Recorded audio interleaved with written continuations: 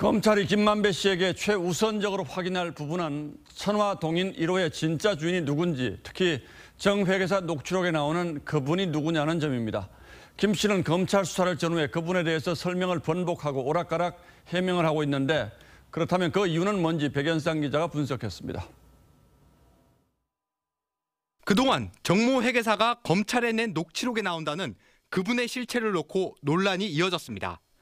녹취록 가운데 김만배 씨가 천화동인 1호 지분 절반이 그분 것이라고 말한 대목이 등장하는 것으로 전해졌기 때문입니다.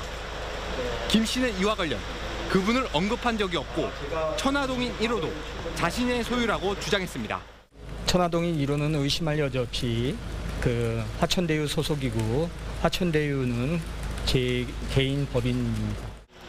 검찰 조사를 전후해 새로운 설명도 추가됐습니다.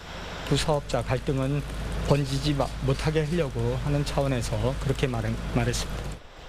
이 해명은 그동안 입장과 배치되는 것은 물론이고 윗선 또는 뒷배가 있음을 암시하는 것으로 풀이될 수 있습니다.